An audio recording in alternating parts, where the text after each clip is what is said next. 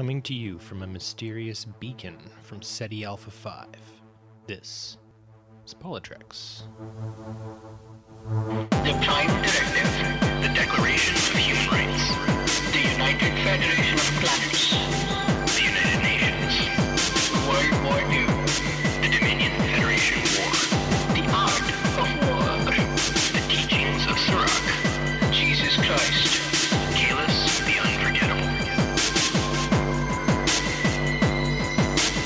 Welcome, everyone, to PoliTreks. Thanks for joining us while we talk all things politics within Star Trek. We're a proud member of the Tricorder Transmissions Podcast Network. My name is Barry DeFord, and here on the show, you could say he's the most reliant fellow I know. My dear friend and co-host, the often imitated, never replicated Mr. Shashank Avvaru. How you doing? Do you ever let a ship approach with its shields down, even if it was a fellow Federation ship? Namaste, Homo sapiens. Barry, I am so glad you think I am reliant. I am proud and privileged to be a part of this enterprise with you. Oh my goodness. That was delightful. So seriously, you know, you see a ship flying in and it's a Federation ship. Would you put your shields up anyway? Absolutely. I don't I don't trust people. I don't I don't just give out my my directions and the way my life is going to go to everybody. So yeah, they they might be a federation ship, but you never know. It could be taken over by crazy Ferengis. And I don't want to give my money away. I've worked hard for it. Well, of course in a in a Trek society you wouldn't necessarily have any money. But who knows, you might you might be selling space insurance, so you might have some quatloos on the side, right? By the way, space insurance, I really hope is a good uh, throwback to our Patreon conversation that you can listen to, where I rant about my joys, my my dream job of of getting to sell space insurance. It is true. You guys should probably sign up for the Patreon to hear all of our silly gaffs and stuff. It's on the Tricorder Transmissions page, sort of on the top kind of right side. And yeah, if you got a couple extra little chunks of latinum sitting around, we'd always be happy to have that. One thing I do have to say though about this episode, because we are going to be looking at the PoliTreks of the Wrath of Khan, I'm going to refuse to do the Khan scream. I just won't do it. I, I refuse to. Um, and yeah, it, You mean you won't you won't say con? I refuse to go con. But Barry, why won't you go con? I'd rather go con. That would have been better. I I actually would rather go to the con happening in Vegas in Oh, August. yeah. Oh, yes, yes, yes. I want to go to the con. That would be very nice to do. So, okay, Star Trek: The Wrath of Khan. Are we talking about one of the best films or the best Star Trek film? So Star Trek: The Wrath of Khan is incredible. It's visual poetry. It's one of the greatest movies ever made. People can watch The Wrath of Khan, and I have seen their lives change. I see one person whose his life has completely changed every time I look in the mirror, thanks to Wrath of Khan. Who is So that? the Wrath. That's that's me, Barry. That's I'm talking about myself because it tasks me. It tasks me, Barry. The Wrath of Khan tasks me Ooh. and I will have that movie on Blu-ray, director's edition, for the rest of my life. I like it. So, we had mentioned in an earlier podcast that uh, there's a chance you could come dressed as Ricardo Montalban as the Wrath of Khan Khan. So, we need to get you a wig. We need to get you the kind of broken uh, in Enterprise Delta insignia and like the whole kind of shirt outfit and stuff like that. Um, do you think that's what possible? we absolutely, but what I think we really need is my space mind control worms, so I can take over people and I can tell uh, I can make them do my bidding because that's the dream, Barry. So last episode we talked about we talked about assimilating people and this episode we're talking about taking over their mind with space worms. This this doesn't bode well. They are listening to us, so I would like to think we are in their ears already. How how close is the brain function synapses anyway from the ears? We're Right. getting there. I, I would like to think we're very close. Yeah, and and honestly to think about it in that respect, um Shashank, if peop- if we are earworms in that respect, how can people uh, let us know that we are their earworms? Nice segue. People can reach out to us and tell us if they're enjoying our earworms or they would like to kill us with some space poison and take our earworm out through PoliTreks. We are on at PoliTreks on Twitter. That's P O L I T R E K S. And you can find us on Facebook on PoliTreks, where you can write us a longer message. But really, follow our Twitter account because we make a lot of space jokes and a lot of political jokes and a lot of just jokes. We make a lot of jokes. We like jokes. I want to start bantering more with uh, the real Gul Dukat as well. But if you guys find that you're interested in maybe leaving us a voice message too, and um, that's always a wonderful thing. We always love to hear from you. You can call into the show and leave us a voicemail at 609 512 LLAP. That's 609 512 5527. We are PoliTreks on the Tricorder Transmissions Podcast Network, and we are among some other really fabulous shows. Of course, Tricorder Transmissions Shore Leave, Trek Rank, Drying Trek, Reading Trek, Disco Trek, and now Trek Profiles, where yours truly is gracing the first episode. So that's pretty cool. So literally, I am on the best episode of Trek Trek Profile so far. It's a, it's definitely a delightful episode, but I don't know if it's going to be the best episode in the tricorder transmissions because I have some pretty exciting guest appearances coming up with one of our other Trek shows that I'm very excited, but I can't talk about. So it's yeah, con. no, I, I also think that my my uh, my record of being the best episode of Trek Profiles is going to come to a screeching halt once um, the next guest comes on, and I will leave that to John to announce. But um, yeah, my my reign will come to a, a, very abrupt end, but that's okay. I'm I'm happy being the only game in town right now. Speaking of abrupt ends, such a heartbreaking way to jump into the news, but Stephen Hawking passed away today. As as we record this, we we we are a little less than a day away from having gotten that news.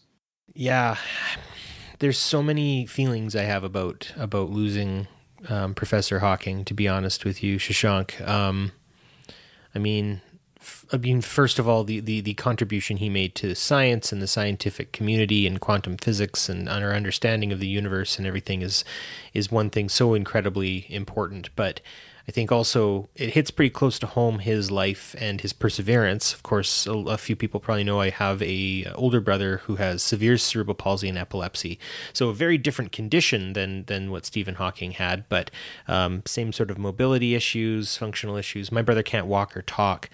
But um, yeah, uh, you know, having grown up with a lot of people in the disabled community, I think Stephen Hawking was was able to access a lot more um, a lot more beneficial things than than other people who who maybe not have as high a quality of life, obviously given their station, but Stephen Hawking was an advocate for people with disabilities. He was an advocate for, for ALS and for other motor neuron diseases. And he was an advocate for, for health and healthcare and, and everything like that. So outside of his, his stunning contributions to the world of physics, his contributions to humanity as well need to be remembered and, and lauded just as much as his scientific contributions. So at 22, Stephen Hawking was given two years to live and this was back when medicine was still not at its highest peak of innovation. There was essentially little to no chance, even in Stephen Hawking's mind, that he wasn't going to live that long. But he lived to be 76 years old, and he has the mantle of the smartest man in the world. I don't know if anybody in our lifetime will beat it. But just the fact that someone with so many physical and mental disabilities could make such a breakthrough in the world gives me so much hope and gives me joy and gives me reason to live and be proud to be a part of the species that he is. One of my favorite Stephen Hawking things is his concept of imaginary time. It's not originally his, but he made it very popular. And it's this fascinating idea that he posits that all time is an illusion and because reality itself is questionable, even time does not exist and it's merely a perception. I've always wanted to write a story based on that concept, and he himself stated quite publicly many times that science fiction writers really haven't made a lot of that one theory that he's always had. And I'm hoping before I pass that I can pay tribute to him in some way by getting a story published in which that concept is played with. But that's such a selfish writer's dream, a wannabe writer, writer's tirade about a great man who touched billions of lives. So we're we're just sorry, and we're glad we we are glad we at least have him on TNG so we can enjoy him. Absolutely. Yeah, no, he gets he gets he gets a good little a little good little jab there, and I don't know if I could end with a little story, um, just in regards to this. I mean, you and I, Shashank, have spoken about how much we find Stephen Hawking to be a man of comedy as well. He was a very he had a great sense of humor. Um, there's a, a, story about a young lady who I grew up sort of knowing um, she has CP as well, cerebral palsy, but they were able to get her sort of a talking device, much like Stephen Hawking. So, of course, Stephen Hawking's talking device ends up being quite famous and popular kind of into the mid to late 90s as it's getting used more. And so, anyway, she ends up getting trained in sort of the early 2000s, and she's about 18 years old and a bit of a higher functioning cerebral palsy level than my brother, but but still, you know, mostly nonverbal and, and all that sort of stuff. And so, anyways, they they take her through this whole training program. She gets to to do all this extra stuff, and and learns how to construct full and complete sentences where she's able to converse and all this. They have to pin one of her arms down to keep it like kind of under control so she can work the little the little um, button to select words and everything like that. And it does take her a while to get figured out but finally she gets to the point where she can finally say her first personally crafted sentence right? She gets she gets to do her own sentence that she can make herself you know 18 years of sort of semi nonverbal communication and finally she gets to say her first sentence. And you know what it was? It was Please stop feeding me green beans. I hate them. so that's yeah, that's sort of my my my thing. I think Stephen Hawking would have enjoyed that that joke. Stephen Hawking is a funny, funny man. It's a, it's I I would I've really talked about this a little more on our pre-recording, but I I've always wanted to just see a stand-up set from him, and it sucks that from all the great things that he's done and that he might he could have done that's something that we'll miss because it's it just seems like a very niche thing to ask for from a scientist but he had a lot of original humor inside him and i always felt like he had at least one stand-up session inside him that he could give us and grace us with. But anyway i would i, I would like to i'd like to think that we are better to have had him and another really pro- relatively smaller incident that happened in my country that seems to have intrigued Barry that he thinks has has made our country better is uh, something that was initiated by a man named Viju Krishnan, who's part of the Communist Party of India, and he recently led a farmers march, a Kisan march. Kisan is Hindi for farmers, and he led about fifty thousand farmers on a march that ended with them getting a bunch of concessions and initiatives and resources that they need for better farming. Barry, why did this story move you? Well, what it what really moves me about it is the the farmers in India are are are face to face with some of the issues that that we see with climate change. Right, India's climate is getting hotter and hotter, and it's harder to farm. And I mean, India for a very long time, of course, Shashank, you know this has has a, a very strong agricultural past. Uh, it also has a very strong industrial past, and that industrial past was brought to a very sudden halt by the British Empire. And, and, and I mean, that's one of the reasons why we, we see some of the famines that take place and, and whatnot is, is India's use as a colonial um, space rather than, than its own self-sufficient space. And so like with with a lot of things, it's taken a long time for India to to be able to to kind of reset after that much. I mean, even Canada has had trouble resetting from a, a Commonwealth style of, of existence to a more independent existence. The the story of, of Canada's move to Confederation from Confederation is actually over hundred years, but that's a topic for another day. And so, anyways, you know, farmers in India have had a very hard go of it, and the suicide rates among farmers is appalling. Like it's it's it's appalling. I don't have the exact numbers, mainly because I don't know if they're being kept properly. I, I don't really know, but more than anything, what I think is important here is farmers in this in this this part of the world are not getting the the rights that that they would that they would deserve. It's it's pay for for the work that they do. It's it's work conditions. It's being able to to have access to things that I think we as people in the West would see as a right if you were to be a farmer, right? Um, so for for a group of people, and and and Viju Krishnan definitely deserves praise for his part in this, but I think to a degree as well. I think there's 50,000 people who we need to be giving the thumbs up to. The the the people who who are pushing to get better better um, better you know a, better situation from from the government um, from the landlords who who you know are involved in smuggling and it's it's causing starvation to take place um, all of this sort of stuff these 50,000 farmers march on Mumbai which is the financial sort of hub of India if I if I can make such a, a statement. But um, yeah I mean this is this is very important because this is direct action and this is something that I believe in quite a bit. And whatever whatever ideology you find yourself at is when when the people move when the people march you better listen. And 50,000 people I know India has a very large population but 50,000 is nothing to sneeze at.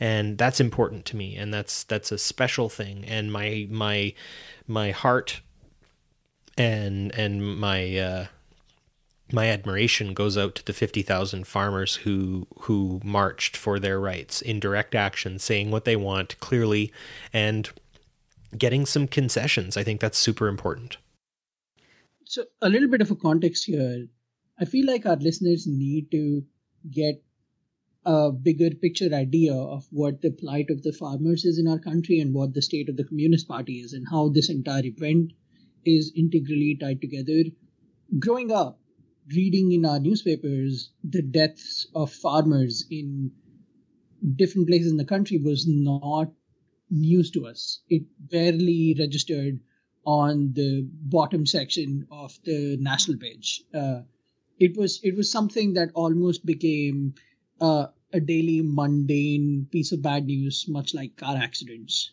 And the graphic stories didn't even move us because we just somehow just got used to these stories to the point where they weren't even registering with us. There are so many stories of farmers committing suicides, and because they are among the poorest in our society, really the only way they could commit these suicides was by drinking the pesticide that they used to kill the uh, kill the beings that were killing their crops. So it's a the, there is a very gaping hole of of a community that hasn't been served well by our government. And what's un- what's unusual is that this is not this is this has not been a new part of the problem of the problem that the farmers have been facing. Even my parents told me horror stories about they read uh, about.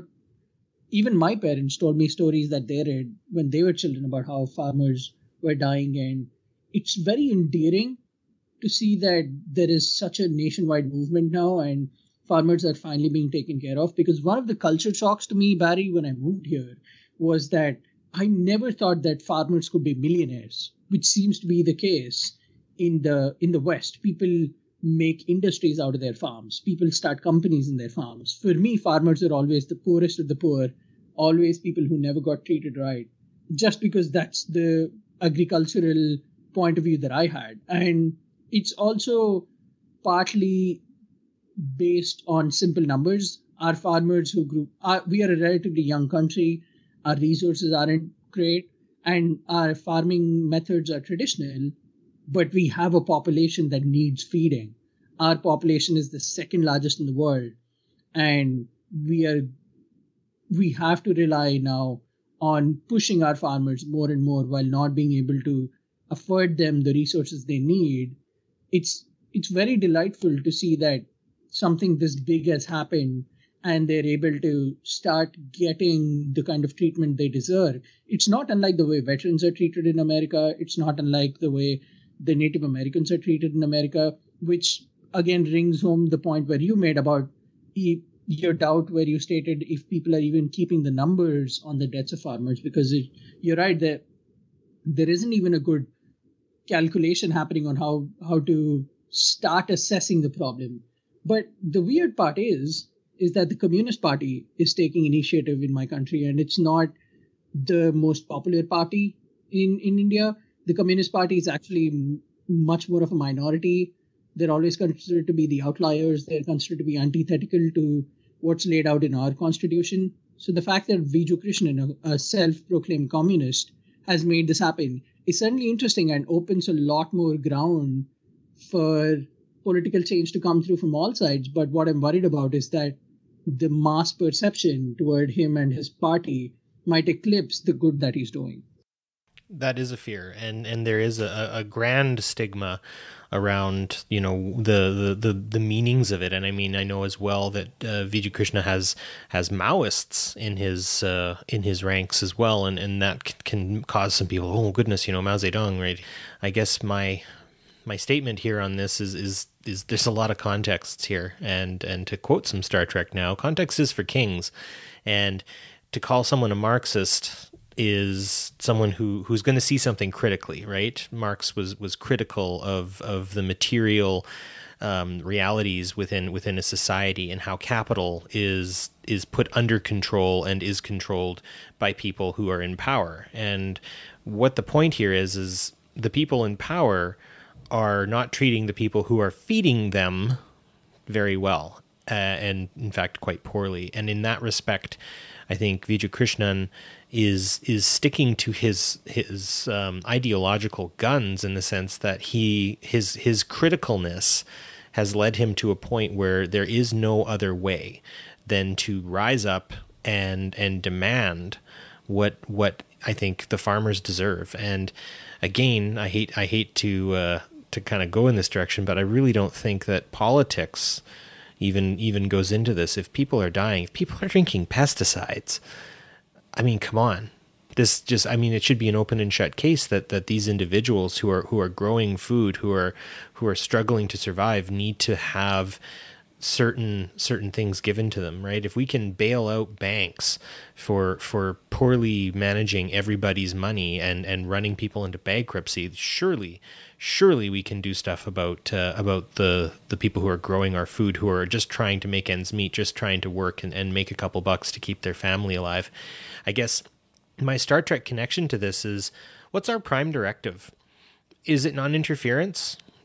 Uh, like do we do we want to not interfere in something that is happening here? Because I know where this leads right? I know where this goes. When revolutionaries people who come up with great ideas come forward they'd usually die right? Mahatma Gandhi thankfully managed to get his revolution to a point where he could actually enact enough change. But I mean, he was, as as you've told me, Shashank, he was assassinated not too long after, correct? Right, two years after we got our independence. I rest my case uh, in that sense that my worry now is that that the head is going to they're going someone's going to try to cut the head of this movement off. And that's why I'm really trying to push the idea that Viju Krishna and I have a lot of respect for but I have a lot of admiration for the for the perseverance and and the amount of of suffering that the that the farmers have endured. And for them to walk what was it like 150 180 miles or something like that to go to Mumbai in in a group of 50,000 people to demand better conditions for themselves. I mean that's that's so amazing and and and I, I'm very proud of that and so in that sort of sense I think my prime directive on this is is to bring this up is to tell people in the West who probably would never hear of something like this. If I was part of Starfleet and I was asked what my prime directive would be to immediately get a resolution on this, I would firstly present some facts. In America, 50% of all produce is thrown away 50% of all food that was considered fresh and ready to go into people's fo- mouths is thrown away. And that, if you crunch the numbers on that, in an entire year, that's one third of all food that is being thrown away. And now we have a country in which there are a billion people, but there is not enough food to go around. And and to make things worse, there are farmers dying because they just don't have the resources needed to have a decent life, not even a millionaire's life where you can start Tyson farms and sell your chicken, just a decent life. So for me, food equality would be my prime directive is getting a hold of what is going on with our food situation. And why can't we expedite this problem so people won't die? Because while they want to feed us, they're not just getting even the minimum amount of resources required to keep that fundamental need that we have fulfilled and that breaks my heart and that would be my prime directive is food equality I agree. And, you know, I don't know what particularly exists for us to support this. And, you know, some people would be like, well, I'm not supporting a communist. Okay, cool. Don't, don't support a communist, but, but support farmers. Like farmers are so important. I work with them every single day. I work with their kids. They are so important to us. And if they aren't, if they aren't being treated well, that is like a canary in the coal mine for me. Like if the people making the food aren't being treated well, that says a lot. And and I mean, this can this can go straight into uh, to to you know our supermarkets and everything like that as well. And that might be a conversation for another day. I think we need to get Manu Saadia back in here to talk to us because I think he'd have some good insights as well on uh, d- division of wealth and labor and stuff like that. But uh, perhaps we should move on to our next segment, sir. Yeah, it's uh, since we've talked about things that might keep us down. Here's some exciting news: the Dominion's falling apart. It sure things is. Are, things are being taken away from them, and the House of Cards is slowly crumbling. Rex Tillerson, is out as Secretary of State. Yeah, and uh, crazy. Uh, the uh, the illustrious Mr. Mike Pompeo is now probably going to be uh, the new Secretary of State. So that that's a fun fact. And Gul Dukat is now the head of the CIA. I mean, sorry, Gina Haspel is now the head of the CIA. Isn't that amazing? It just seems like people that we would put on logically as the worst people to to get that job are getting that job. It's like making Officer Sloan the head of Starfleet, saying Section 31 so great at killing people and calming opinions and suppressing freedom. Let's just give that guy the most important position in all of the universe for us. Let's make him head of Starfleet. Why not? And and just for the Gul Dukat sort of idea, if you can run a secret prison in Thailand and waterboard people 80 times who don't have any extra information for you and joke about it and feel like you're doing the right thing, that's Gul Dukat. Gul thought he was doing the right thing every time he did something terrible. And, you know, Trump said, well, you know, we have our first female leader of the CIA. Hey, you know what? I'm really glad that women are getting into good positions, but I don't care if you're a woman or a man or any of those sorts of things. If you're a monster, you're a monster. And I can't believe that this individual is being put in, in charge of, of a central intelligence agency. I am I am appalled that this is the case. And we all know what happened when Gul Dukat ended up in a leadership position within the Dominion, how that went. So I'm really hopeful that this, you're right, that this House of Cards is starting to fall, and and we can see maybe some more direct action from from the states, um, from people, from citizens who who who've had enough of this sort of stuff. Um, card carrying Republicans who aren't happy with this. I look forward to you taking your party back because this is a mess. I don't know what will be left to take, but here's a here's just a small sliver of the sleaziness that is going around with these heads. Uh, this is just a tiny story about Mike Pompeo. The way he was elected to the House of Representatives was back in 2010, and he was representing Kansas. And the Tea Party was very big in Kansas back then. And he ran against Democrat Raj Goyal, who was the son of Hindu immigrants from India.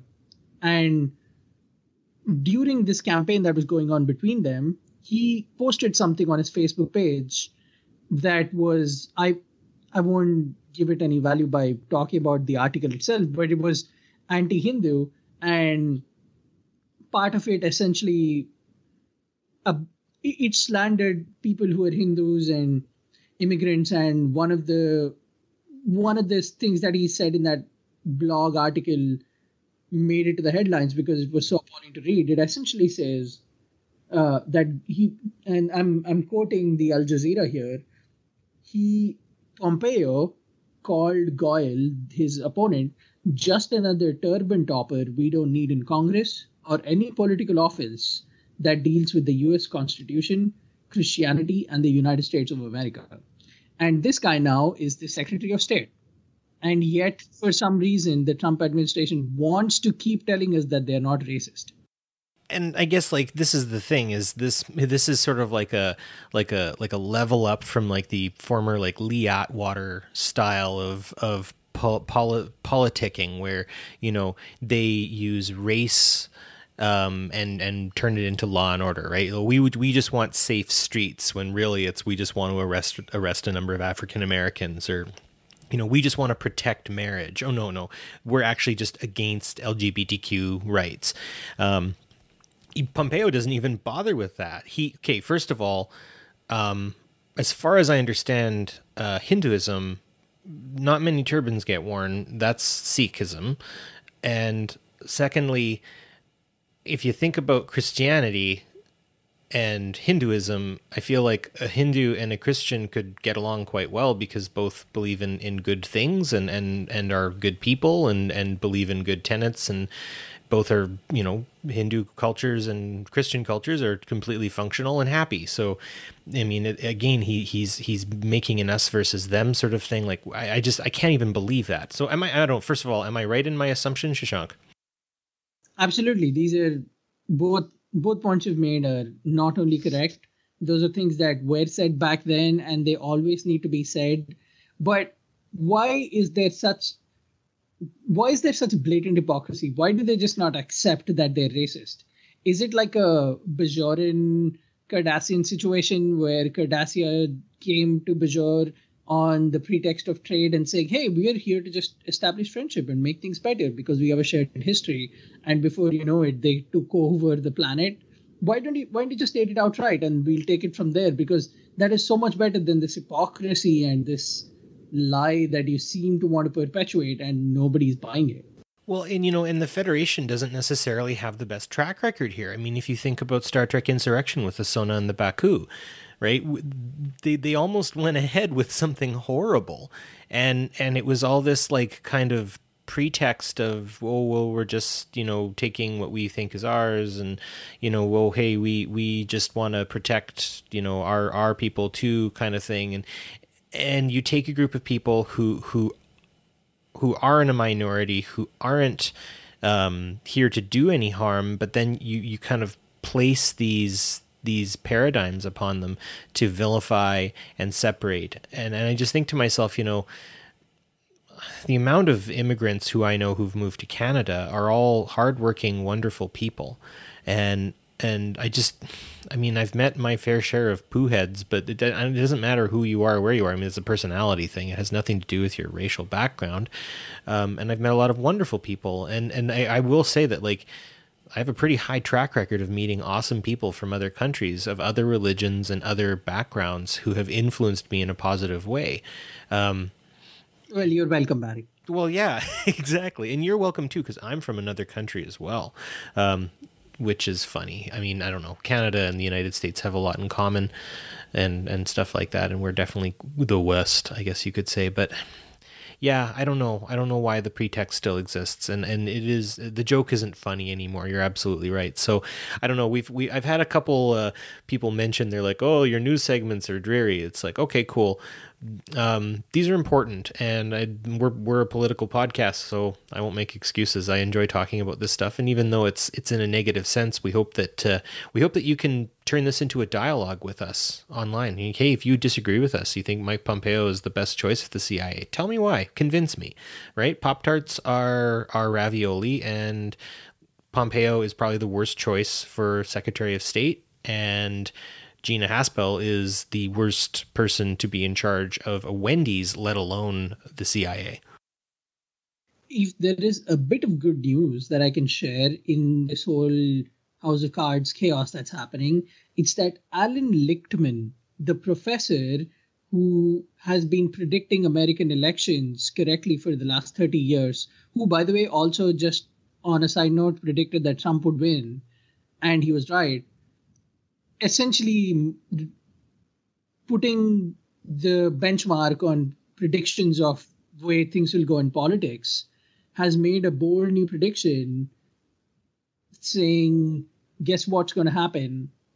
Before 2020, Trump will be impeached. So if all his predictions have come true, including the one that none of us saw coming or most of us didn't see coming, then we can only hope that this happens and things are things are going to be interesting. We certainly live in interesting times. And what else is interesting? Perhaps one of the most interesting things, and something that I love and is visual poetry and incredible and one of the greatest movies ever made, is The Wrath of Khan.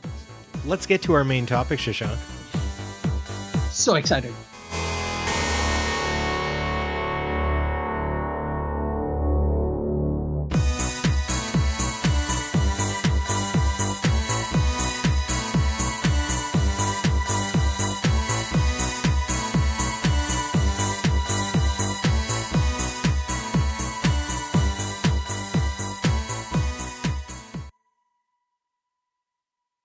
Tasks me.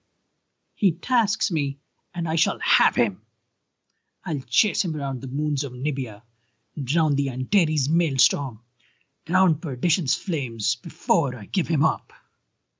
The sound of a delightful Hyderabad accent for an Indian character sounds pretty awesome. And I think we're going to get into that a little bit further later. But first of all, I mean, really, The Wrath of Khan is about revenge, isn't it?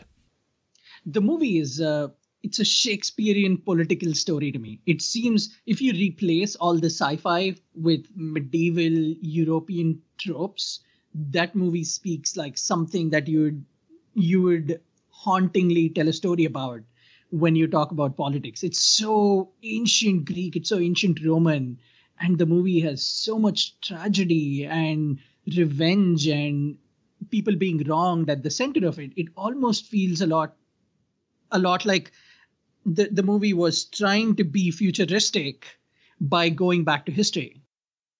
I like that idea of being futuristic by by going back and and I think you know one thing that has always sort of made me think about it is that moment on the Reliant when when Khan points and he sees the Enterprise and it feels very much like Captain Ahab and Moby Dick, right? Seeing the whale, seeing the white whale, and finally getting his opportunity.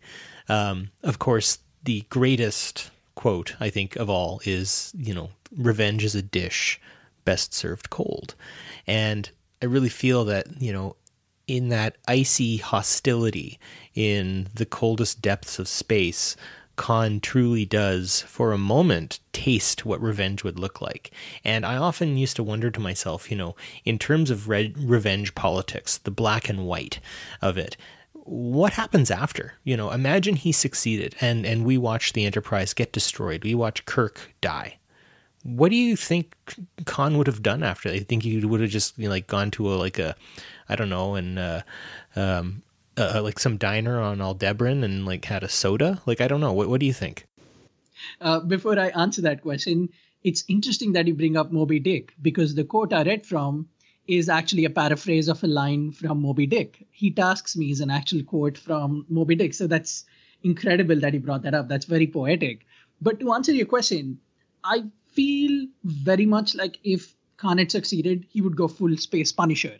He would take more ships. He would essentially wage a one man crusade based on revenge and the wronging of his people and would not stop until he annihilated everyone that had ever wronged him and everyone that stands in his way that feels like what he would do, which is not unlike the political motivations of some of the more extremist leaders at the time. You have Cuban leaders who had very romantically talked about during that time at the height of the Cold War, how they're they're seeing beauty in annihilation, how they're seeing beauty in destruction. And a lot of the members in the Warsaw Pact in that time in hushed circles talked about how these countries romanticize the destruction of places in the world. And a lot of the danger, the nuclear danger, comes from the fact that there was this romantic view of destroying people that you feel have wronged you, which seems like an exact scene from real life taken in and put into the character traits of Khan. You know, speaking of of you know talking about the Castro regime specifically, you know there was that point where when Castro spoke of how this was all going to be coming out in the wash um, when he was fighting Batista, he of course did mention at one point, "History will absolve me," and the idea that you know, in in time, the wrongs that I've had to do will ultimately show that I was in the right. And yeah, I do think that that to some degree, the um, the 25th of July movement that uh, that moves forward. It might have been the 26th of July movement. I'm suddenly having a uh, a brain fart, but um, the the Castro's movement that starts in the Sierra Maestra in the southern tip of the island, moving its way all the way up to Santa Clara, you see a a group who is to a degree, I think, bent on revenge, and the way the Batista regime treated the Cuban people for such a long period of time, you know, were they justified in in how they acted and how they how they moved and and, and all that sort of stuff? And you know that's an interesting way of looking at it and, and a, a very particularly um, partially concerning thing to look at as well i think. That's the beauty of this movie also because on a on a political and social context khan is a space dictator. He's space evil che guevara. He's space extremist castro. He's space trump 20 years removed from now where he has taken over the world and is ready to go on to aliens because all aliens are bad you could almost replace khan's character with most of uh, tyrants from history and some of our political leaders today.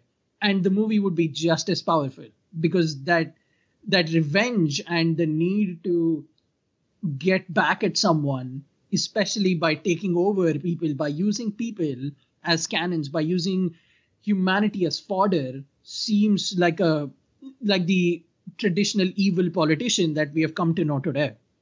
So you mentioned Che Guevara, and um, not yet, but I'm going to disagree with you that um, you know you say he's evil Che Guevara. I would say that um, maybe, but I think evil Che Guevara would just be a terrible dictator. Um, and I want to talk about Che a little more when we talk about sacrifice as well. And if I offend anybody by maybe putting Che in a positive light, it's a political podcast, so let's let's talk. Anyways, let's get back a little bit to this sort of idea of revenge in politics. Um, I often think of probably the most modern form of revenge politics would have been the justified, and that's a good question, the justified attack in Afghanistan and in Iraq after September 11th. I wanted to see the Taliban fall after I saw those towers fall. I was upset. I was sad. Um, that was an attack on us. Um, and when I say us, I mean Western society and and stuff like that. And and I remember being personally happy that that you know this this was happening, that we were going to go and, and and erase a regime uh, that we saw as inherently evil. Um, I also think that to a degree, looking at the attack on Iraq was very much the son finishing the father's job. And there's something sort of revengey about that as well. Um, I don't know. What do you think about that, Shashank? The idea of you saying that the Taliban is an allegory here, that that is a reference point, is very interesting because this movie is also so much about context. And from the context of the Middle East, there are people who have talked about how the Taliban is their good guys. For them, they did they were good guys who were morally upstanding that did something wrong. And in in this movie, you'll see that come full circle when Khan's followers follow him to the bitter end because they believe he's doing the right thing, even though he's clearly on a path of evil and domination and he's he's going down a path that will not lead to anything good. He, they all believe in his cause so much, and they've been personally wronged so badly that they do not see that there is a line that needs to be drawn. So, when convinced of sheer rightness, I find that there's always this nature of, of battle that takes place after that, right? When you uh, when you think of the idea that you know you're saying that the Taliban see themselves as correct. And so they will use any means necessary, and in their case, using guerrilla warfare as a successful means with which to fight and take out their their enemy. Um, that's an interesting thought. I mean, obviously in Cuba, um, the Cuban revolutionaries do that. In the Sierra Maestra, I would say that the Vietnamese do that in the Vietnam War. And I mean, even to a degree, you see a back and forth style of guerrilla fighting you know, it usually kind of breaks down into guerrilla fighting in both the Korean War and specifically in Guadalcanal between the Japanese and the Americans. So it's fascinating, especially when you seem to be convinced of your correctness. You're willing to go down some pretty, uh, some pretty crazy paths in terms of fighting to get your aim. Just to take from that and add it to something that hits home for me. When when you're a child in India and you're studying Indian history there is a very divided figure who also succeeded mostly during the Indian freedom movement on guerrilla tactics. His name was Bhagat Singh and he was executed at 23 years because he was leading a movement that had become very extremist to get rid of the British at the time. And he was very famously at odds with Mahatma Gandhi, who was on a non-violent path. And they were both at loggerheads. And even on the hour of his execution, Mahatma Gandhi had the opportunity to just make a phone call and tell him, even though this person is using violent tactics, you shouldn't kill him because he's fighting for the right cause. But he didn't, and Bhagat Singh got executed, which only angered people more because, in spite of his violent tactics, one of his most popular uh, violent tactics was he actually bombed the Indian Parliament building. And if you actually go to the Delhi Parliament building today, they'll show you the site where Bhagat Singh and two of his comrades walked in during the British Indian government session, uh, during a British Indian government session, and caused a violent attack. They bombed that place and then they tried to escape. Uh, but this idea of freedom and getting the right thing done using violent means is intricate to guerrilla warfare and that's no different from a freedom fighter in my time from stories about the freedom movements in america in canada in the west to this space opera story. And that i find deeply endearing about the movie that it touches it does it takes that risk by showing you a villain who is using something that people over our history have done so many countless times. And that's why i think khan also succeeds mostly as a villain. He does. And and his success as a villain is in that ambiguity i think because he he is ultimately convinced that he is protecting the, the people who he feels have been wronged. And, you know, I mean, even all the way back into Space Seed, he is a, he is megalomaniacal, right? He is very much convinced of his own perfection. And that is, I think, his downfall. If he was purely protecting his people, if he was purely protecting a group of people who deserved a part in Federation society, that I think is where we see our big difference, and maybe where we see the the violence and the villainy come out so much greater, right?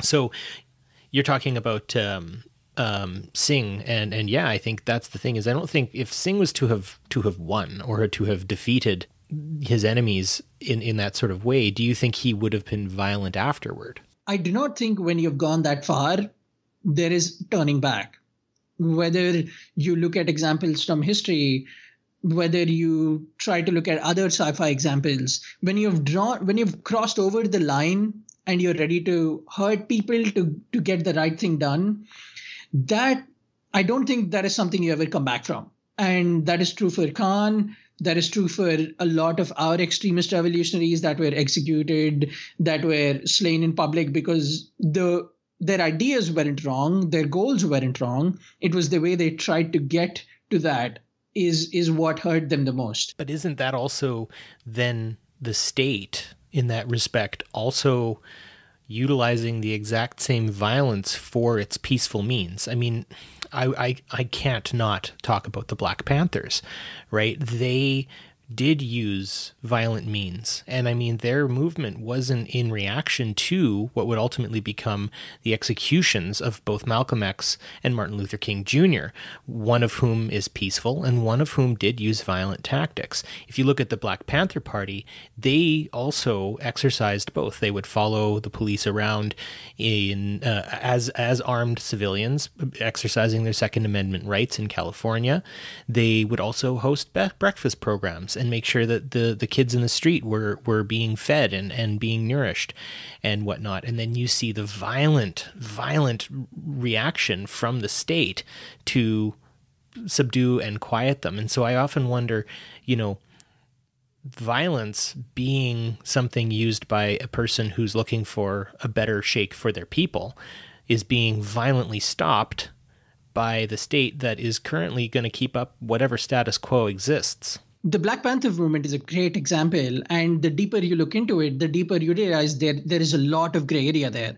And you don't even have to go that deep to understand this concept. Just look at the post Arab Spring movements that have been backed by the West while the West and the governments of our democratic nations tout guerrilla warfare from our, our opposition as bad, one of the greatest triumphs of the post Arab Spring movements is the fact that a lot of the troops are backed by Western nations. Famously most recently there are a lot of times in syria and there are a lot of uh, isis occupied areas taken back from them by the iraqis because there were us backed troops.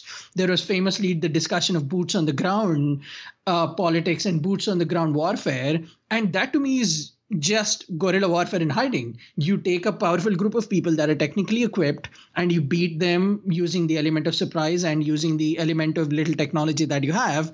And in the process, you're using stealth and hiding to your advantage. And that also plays greatly in The Wrath of Khan.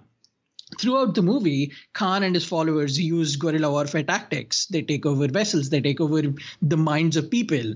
And throughout the movie, it is trying to apparently tell you that that is bad but in the end success comes from starfleet by also using some of these familiar similar guerrilla warfare tactics. So it's really difficult to decide which one's right and wrong mainly also because khan is such a good villain and ricardo montalban plays him so well you you have trouble deciding who's the good guy and who's the bad guy. In, even though you can clearly tell oh yeah that is bad and oh yeah starfleet is good you know and i think that's where we have to really consider the the the the intentions of both sides right like kirk can have sort of almost megalomaniacal tendencies sometimes throughout his career as a Starfleet officer. I mean, in the last episode, we talked about how he basically just pinballed Decker right out of the spaceship until Decker was like, well, I guess I'm just going to unite with an artificial intelligence and piece out of the whole thing but um, maybe maybe kind of seeing where that line is drawn, right? I think Kirk is very much devoted to his his crew, and he's devoted to the people he has spent so much time with. Whereas I think ultimately what Khan is is he is devoted to himself. He is devoted to his idea and his ideal, and though he loves the crew that he has, I think ultimately he sees them as a avatar or a, a manifestation of himself as, as part of that greater society that he wants to create, not for the betterment of mankind, but for the betterment of his personal cause. Whereas I think that's where we see the difference in Kirk and ultimately in the sacrifice of Spock, where where Spock realizes that he can he can save everything by sacrificing himself. Whereas in Khan, he sacrifices everything to keep his point as solid as possible. I mean, he could have raised the white flag, and I think Starfleet would have probably punished him and his crew, but they wouldn't have killed him. And I think this is also a great time to just talk about the portrayal of Khan, the using of the name Khan Noonien Singh, which is a clearly a South Asian Punjabi name, and the portrayal of a Mexican actor as an as an Indian character that that is disappointing to me to say the least, especially because Star Trek is such a progressive franchise. I agree. I just want to get this out right now. I think Ricardo Montalban is one of the most amazing actors to grace Star Trek. And this is in no way a critique against him as a human being. I think he is very much in that a product of what was happening politically and socially during the well what started in the late 60s with Space Seed all the way up until I think we see the last vestige of that taking place in and around the 80s and since then it has been finding actors of you know ethnic descent playing actors of similar ethnic descent with odd exceptions from time to time that have been i think pretty much panned. Like I mean, you think about the modern Ghost in the Shell movie, right? That uh, that didn't that didn't go over terribly well. Um, you know, I think I think there is a lot to be said about characterizing groups properly. But I think, yeah, the 60s was wrought with that. I mean, you look at most Westerns, and uh, Native Americans were portrayed by white men in kind of brown face, like they, they just have shoe polish on their face. And you can even take it as far back to the racist trope movie um, Birth of a Nation, where a clearly white man is just in blackface, acting like a total piece of garbage. And first of all, he's he's characterizing an entire group of, of Americans in a horrifyingly terrible way, and that was the purpose of the movie. Um, and it's getting it wrong on so many levels. So I don't know. Personally, I kind of liked your your quote at the beginning, Shashank, because we heard Khan spoken with an Indian accent, which I think is what it originally deserved. Revenge is a dish best served in a podcast. It's definitely it's definitely intriguing to me the idea that they they decided to go with a Mexican actor because it's even if you go back to the original series you can actually see Indian and South Asian actors in the background. There are a lot of red shirts that you can see in the background and you can tell that G- Gene Roddenberry went through painstaking measures just to get every representation out there. And famously George Takei has told this story multiple times. He before the start of the first episode called the entire cast together and told them how they were all representing the world how they were all representing each of the ethnicity, ethnicities and the genders that they belong to. And when they went that far, it sucks that the politics of Hollywood got in his way. And in a lot of ways, this also belongs in the conversation that we are having today regarding the PoliTreks of the Wrath of Khan, because the way the movie was made, it was made at a time when investment in a South Asian actor would have been the last thing anybody would have thought about. It was being made at a time when almost all characters that, in spite of clearly being written or brought out to life by people from another time and another place, were being played by white actors. So the fact that Star Trek missed the opportunity to use an Indian character or a South Asian character actor to show a character from that place that that breaks my heart. Because the wrath of khan is one of the best movies ever made period. Ricardo montalban is incredible. He's one of the great villains but why couldn't they have gone just a, just one step further and actually hired someone that looked like me? So we could have had that representation even as an evil character because that character was born in that place and comes from that time. That that seemed like such a missed opportunity in star trek to me. And you know i mean it's always going to kind of be a bit of a knot in the rug because there is that that that paradox of well if we had an indian actor they would have characterized it differently from Ricardo Montalban, who, in a lot of cases, stole the show. But I guess, you know, we're looking at it through such a different lens now. But I think it's something that it deserves conversation and it merits good conversation on this. And if anything, this can spur us forward into what type of cinema we want to see in the future because talent is everywhere. And when we characterize that talent properly, I think that's what's very, very important. And if I was if I was to to venture, you know, where this took us, I think it does end up moving us forward into actors portraying themselves. You know, you and I had spoken a little bit about the 2009 Star Trek. Uh, in the future, of course, we have an Indian captain who who I think does have a lot of strength. Unfortunately, he doesn't get a lot of screen time, but he was pretty awesome. Also, of course, in um, would have been the voyage home. We get an Indian actor um, whose ship gets knocked out by the gigantic space sausage squeaker whale. uh, and and not to forget Ash in Star Trek Discovery. Absolutely, we have we have a solid solid showing there of a of a fantastic fantastic portrayal. And and again, you know, I think to a degree, all the way when we get up to Ash, there isn't really a lot that gets um, put of sort of like I am from you know South Asian descent, coming from uh, Shazad Latif, but uh, definitely it's nice to see him portrayed. And that's the cool thing about Trek is the representation of a particular character is not made a big deal of. And it shows you how that is normal. And it subconsciously makes you question why do i feel like that character should have been another ethnicity? And when trek succeeds mostly and it failed in this one moment that broke my heart the first time i saw this movie and the first time i saw space seed because uh, it clearly looked like a character who was supposed to come from that place and then it looked like someone who was not that. And it it's it that just uh, broke my heart. But I understand that the politics of Hollywood at that time were different. The politics of selling a movie and getting that movie made, especially after the motion picture did not do the business it should have done for Paramount. I, I understand where the director and the writers and the creatives behind the movie came from. And I don't think that is a risk that they would have been allowed to take at that time. No, I think you're right. And the politics of Hollywood hasn't ended. I mean, obviously, you and I spent several of our previous news segments talking about what's happened to women within the uh, within Hollywood community. I mean, it seems like sometimes when we take a few steps forward, we're taking a few steps back. Just recently, I heard about Quentin Tarantino apparently wasn't very kind to Uma Thurman during the uh, the filming of Kill Bill, which of course has a strong female uh, strong female lead who, in fact, quotes Star Trek: The Wrath of Khan right at the beginning.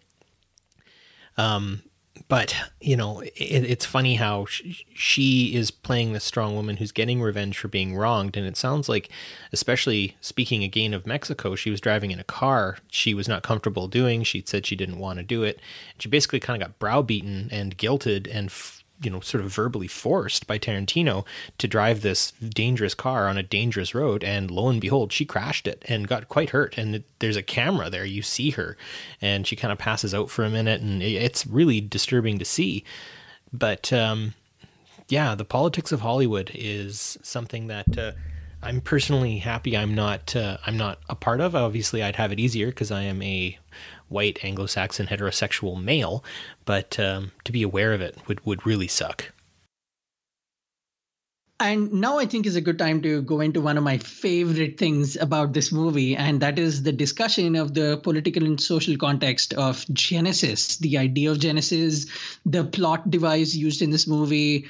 And before I get into my long discussion, just in case you guys haven't figured it out, talking about this movie is one of the most exciting things I get to do on this podcast for the foreseeable future. So I'll try to let Barry slip in his thoughts so I don't overtake all of it. So Barry, what did you think of Genesis and the social and political context of of that idea? Well, Genesis is for me technology writ into a movie, right? It it has the power to create and it has the power to destroy. And within those creation and destruction moments, we always see the balance in between, right? We could, in essence, completely destroy all life on Earth with this weapon, but we could also seed a planet that has no life on it with it. Um, and that's not to say that the life on Earth would be destroyed. It's just basically it's like hitting a gigantic reset button and starting all over again. So I found the Genesis device to be, you know, kind of the the the analogy of so many different technologies that we possess now they can be such such forces of good and they can also be such forces of evil Genesis to me, the first time I saw the movie was genetic editing. It was cloning, it was g- genetic reconfiguration, it was everything we were having conversations about back in the early and late 2000s that have come one step closer to reality now. Famously, Dolly the sheep was cloned in the late 90s, and cloning had come leaps and bounds ahead of its time in the years that followed. And Genesis, the idea in that movie, also was prophetic when it claimed that that would be something that we would want to do. So at this point, in where we are as as a species, is that we have not only realized we can create and duplicate life, we can essentially reorganize all life in one particular location. And there are so many politics that goes in go into that. Famously, there are a lot of countries today, India included, that have banned human cloning, which is weird because most countries use cloning of cells embryos, and parts of the body to help you heal, to to uh, help with surgery, to help uh, eradicate some of your health issues. When countries are open to innovations in cloning of and genetic reconfiguration of cells at the molecular level, it just seems like the next logical step to reconfigure and edit human beings altogether. Anyway, point being, in this movie, there is such a beautiful duality that you might have missed when you saw Star Trek II the Wrath of Khan. Uh, the movie mainly revolves around Genesis, and it's potential success or failure. And Genesis is a project of genetic reconfiguration. And Khan, the villain, is a genetically reconfigured superhuman. And it's another one of those things that the movie does where it shows you what, how beautiful and promising at its beginning human tampering of nature can be, and how, if it goes wrong, how evil and monstrous and almost haunting and destructive genetic reconfiguration of human beings could be. The the fact that it took that one idea, that one seed, and it completely twisted it on its head by showing it as a villain is another reason why this movie is so incredible to me. There's a lot that you have said in there that makes me wish I had watched the movie more and had and and you and I could have even sat down and uh, and put together more because there's so much that I want to respond to, but uh, I don't know. There's so much there. I, I when I edit this, I'm going to be like thinking a lot. So again, well done. That's that's a neat neat sort of duality that you've that you've brought forward that I hadn't thought of enough. You know, the idea that that Khan himself is is a genetic reconfiguration, and and look at what could happen right? When when we start really focusing on that genetic reconfiguration i mean if you think about the star trek history you know he takes over the most of the world right? He's a despotic ruler a terrible person who who enslaves millions billions of people.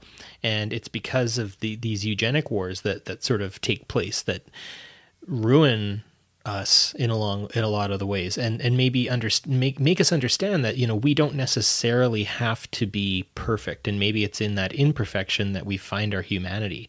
Because if we keep seeking perfection we will ultimately destroy ourselves just like Khan ends up actually doing to himself.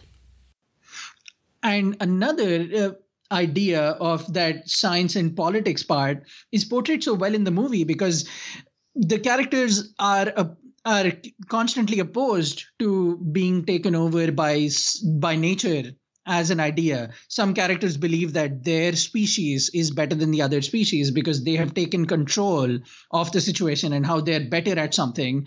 And Genesis overall is an idea of controlling everything and redoing everything and con- uh, essentially navigating how life should go. That also comes physically to a head in the movie when Khan takes over uh, two people in the crew, one of our, one of my favorite characters, Chekov included, using a mind control life form that allows him to navigate the way people act.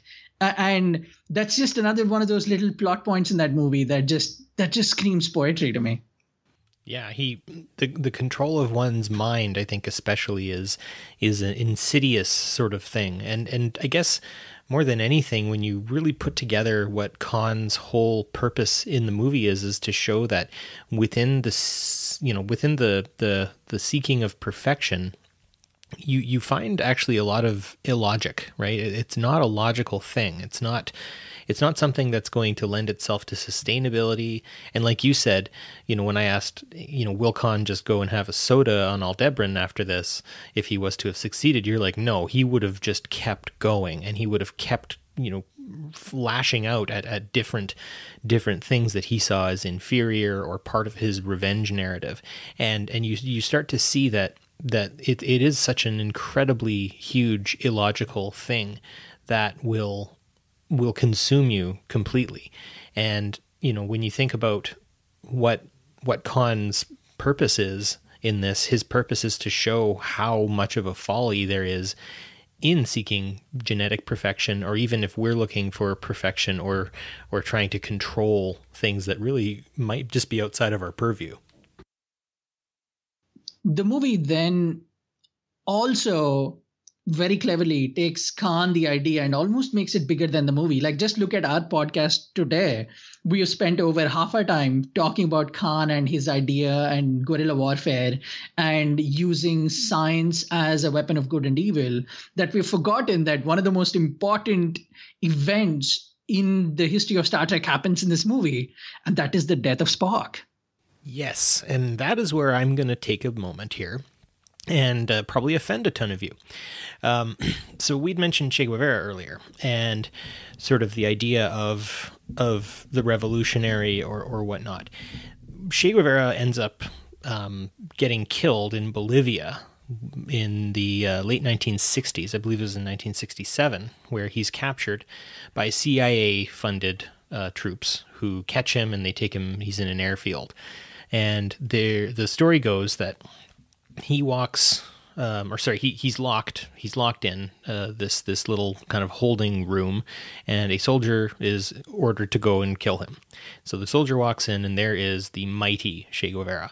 You know, obviously mighty good or mighty bad. That's I'll leave that to the audience to to choose. But apparently, Che's last words were "Shoot, coward! You're only killing a man." And I think about that and the idea of what was more important to Che in that respect? It was the movement. It was it was the revolution itself. The individual did not matter. And I think that's a really interesting point because when Spock is left with the choice to end his own life and save everybody, or go down with everybody, or maybe evacuate or allow Khan to succeed in some way, shape, or form, it's clear it's clear that that that the death of a man, being Spock in this case, is immaterial to the life and the ideals that he espouses. And that's something that I've always thought is really important to understand. So whether you like or dislike Che Guevara, I think his his ideals put him in that category of someone who is not concerned with the good of themselves. They're much more concerned with the good of the many the the needs of the many outweigh the needs of the few or the one is one of the most famous Star Trek quotes, and it comes from Spock, and it it comes to a head in this movie not just as a quote but as an idea, because you see Spock following up on that quote full circle, and then you see the exact opposite of that quote where Khan utilizes people. And he outweighs everybody else's needs just to fulfill his one need for revenge and to get back at Kirk. There is another beautiful duality that is shown that to me screams politics, that screams the idea of a politician. If you just think about it, a politician is there to help people, plain and simple. You ha- you hire a politician, you vote a politician in so he can get the needs of the people together and help people decide what's best for them and do that for them. But so much of the identity of these things and what these things mean and where that politician stands for on those particular ideas is defined by the politician himself. Uh, there's a reason why a lot of us say the Obama era, the Kennedy era, the Trump era. The, the fact that we term those names and essentially give that one person's last name the identity of all those things, in spite of that person being there to fulfill our needs, to fulfill the needs of the many, and put their own identity aside, is beautifully shown in that movie. And it, it's that's why the movie is not just a good revenge epic. It's not just a good Shakespearean epic. It's uh, it, it's a really good take on modern politics. Well, I mean, to to to really bring that down into microcosm, if you think about a good Star Trek crew, right? When you think about the crew of the original Enterprise, it's the crew, right? Yes, there are some larger than life characters within that crew, but it's the crew, it's the group, it's it's them kind of idea. Um, it's a uh, it's looking at the next generation crew, even Voyager, Deep Space Nine, and and the development of Discovery's crew as well. You know, um, the, and there's a bit of a development in that sense with Enterprise as well. One thing I will bring is I'm going to bring in my almost patented Canadian um, connection here. So I come from Edmonton, Alberta, which is the the hockey home, not the actual home, but the hockey home of Wayne Gretzky, the statistically the greatest hockey player of all time so far. And he won several Stanley Cups for the Edmonton Oilers, that team, and, and it did sort of end up that he kind of became almost larger than life. Well, of course, eventually Wayne Gretzky has to move on. Edmonton can't pay him as much as some of the other teams. So he goes on to Los Angeles, goes and plays for the Los Angeles Kings for a long time, and continues an amazing career all the way to the very end. But there's something really interesting that takes place uh, in 1990, 1991, and that is where the Oilers win the Stanley Cup again without Wayne Gretzky. And I, that makes me just really think toward the idea that it is about the crew, it's about the people together that make that strong thing. And and the needs of the one right the or even the influence of the one isn't as important as the influence of the team and so i think that for me is a very high watermark for what teamwork looks like and i think that gets embodied very well within star trek and again you and i kind of looping that back to khan it's about khan and that's why he fails whereas though of course we see later that Spock's death isn't really a full on death. Spoiler alert. Um, he it doesn't matter because people had to wait a number of years to find out whether or not Spock was really, really gone. And they had to sit on that. They had to think about that. They had to think about what that sacrifice meant. And I would say that losing a member of that crew doesn't diminish the crew. It actually shows just how strong they are if one is willing to sacrifice him or herself for that greater good it's also interesting that the idea of revenge shows Kirk as a good guy in the in the movie, even though unintentionally. Kirk also mirrors the acts that Khan is doing. Instead of submitting to the idea that there might be better people equipped to handle the situation, Kirk doubles down. And when he's cornered, instead of asking for help, he decides he will do what is right for him and he'll decide uh, and his idea of him is so intricately tri- tied with the idea of uh, starfleet that he decides I will go and wage this one man war against this guy who's trying to get his revenge on me. And it shows how even with good intentions, you can unintentionally do some of the things that your enemy is doing. And that is so much a political allegory for most of the wars that have taken place in modern history. Uh, you, the U.S.-Iraq War, uh, the Vietnam War, World War II. You can see how people use a, a same idea, the idea of I am going to do the right thing in such different ways. And even Kirk is also a victim to that. And the victimization comes full circle when he sees his best friend die. I agree. And and I think in in that sense victory is always couched in mitigating circumstances. And if we don't appreciate the idea that that victory comes from those mitigating circumstances, then we are all just sort of Khan, right? We there is no such thing as absolute victory. There can never be. I would uh, actually encourage everybody at this point. There's a fantastic book written written by Greg Graffin. He uh, you may know him as the lead singer of the punk band Bad Religion. He also has a several degrees with a doctorate in zoology, and he has a book called Population Wars. And something that I think that we at PoliTreks will probably want to talk about somewhere in the future, and and talk about the idea that really no victory is absolute even in nature. And if we can accept that, we can be better managers and stewards of the relationships that we hold instead of trying to seek ultimate victory against one another. And I think in a lot of cases, what we see right now in terms of the conflicts we have, there's a lot that we carry around in our backpack that we want revenge for. And there's a lot that we carry around that we hate and we dislike and that we want to see made better, quote unquote. And maybe in that respect, you see, you know, the elements, the internal elements of a megalomaniacal mindset of saying that, well, if I just do this, then I will make this, you know, the greatest thing ever. And that's not possible. You know, you are always going to have conflicting views. You're always going to have conflict. People are going to do things that are wrong to each other. And sometimes revenge isn't the best dish, served warm, cold, tepid, or, you know, on spaghetti, whatever. It, it revenge is just not is just not anything that's going to help you. And in the movie Kill Bill as well as mentioned, and I believe it's a proverb possibly from Japan, where it says that revenge is a forest, and it truly is, and it's so easy to get lost. Uh, I believe one of the most famous Confucius quotes also is a man on a quest for revenge must ultimately dig two graves one for the person he has taken his revenge on, and one for himself. Because when you go down that route, there is a very thin line between Saddam Hussein and George W. Bush, especially during that that era that early 2000s to mid 2000s era that we all grew up around and remember all too well it's the the terror that was caused by using the system and the terror that was caused using the idea that what we are doing is right and using violent extremist means to achieve that cause. Anyway, speaking of the consequences of this revenge, I think this would be a good time to just talk about self sacrifice. What do you think, Barry? Sure. Yeah, we'll finish off there. I think we're already 50 minutes into this fabulous conversation. And uh, folks at home, I hope you're enjoying it as much as we're enjoying it. And I would really encourage uh, letting us know what you think about some of these points that we're making.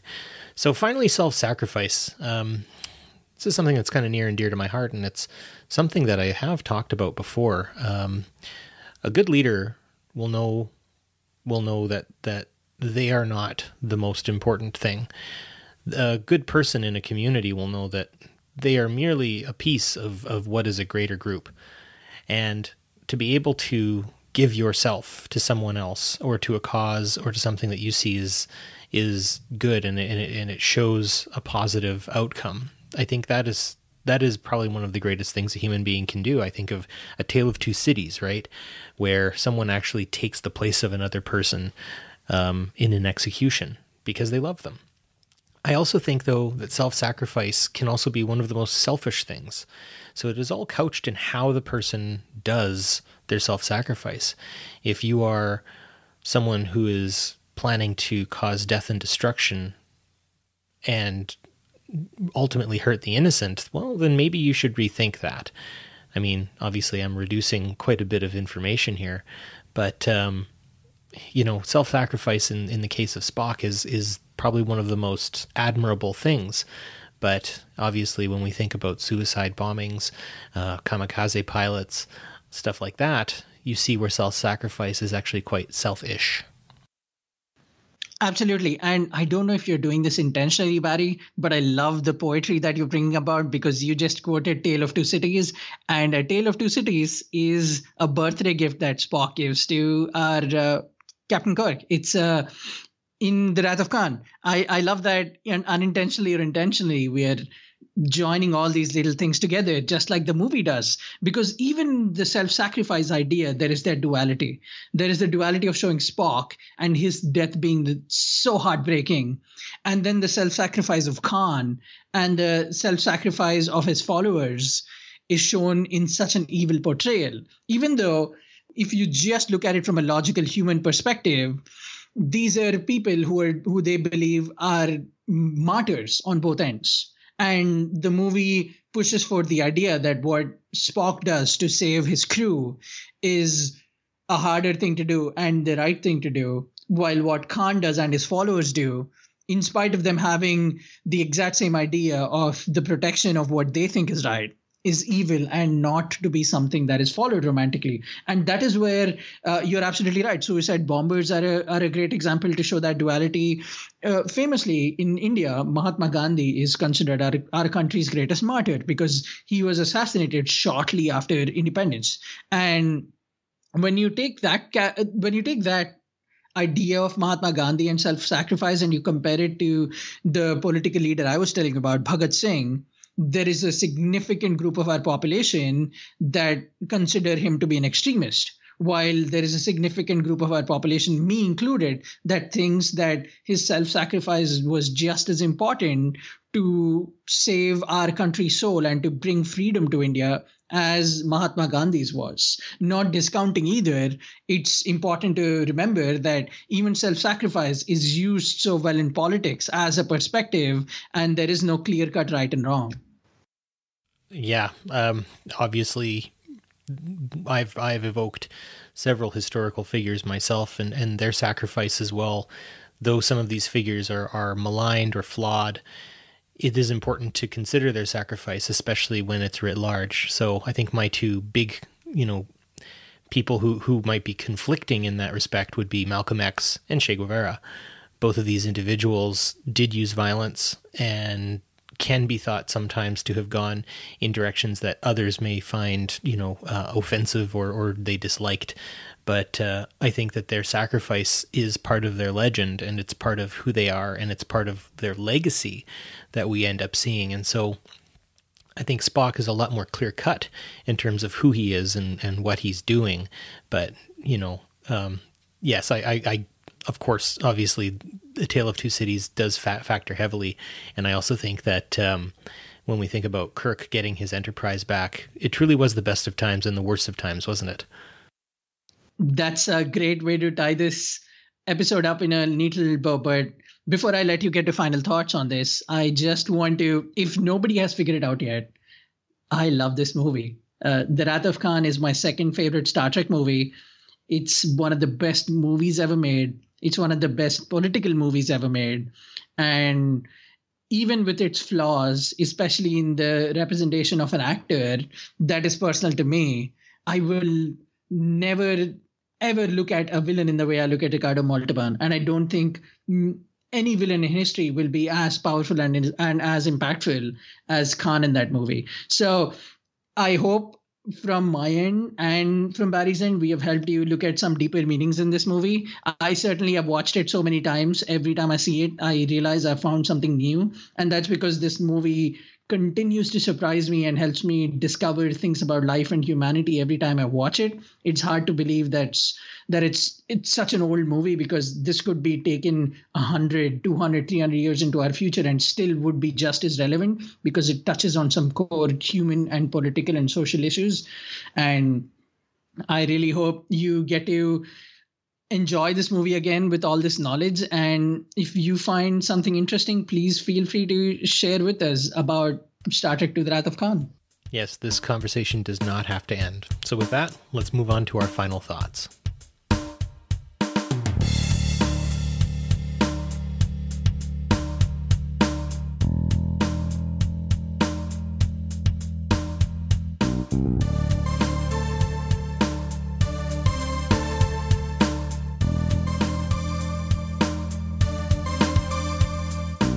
Thanks for sticking out the entire topic on the Wrath of Khan. We hope you enjoyed the conversation. Now it's time for our final thoughts, and I'm going to be running it this time around.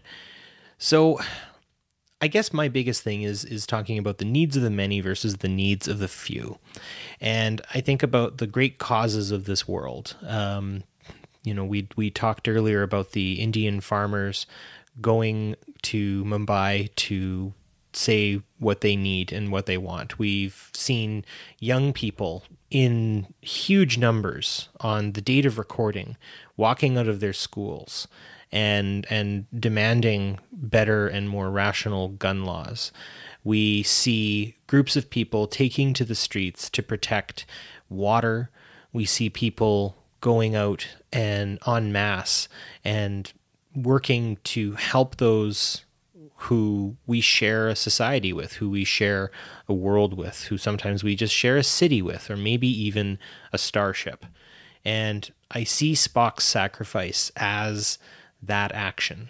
He he represents what is really important here. And it is the collective versus the individual in a lot of cases. And I think within a collective, an individual can show their uniqueness and their personal amazingness. I mean, think about Spock in the original series, think about Spock in the motion picture.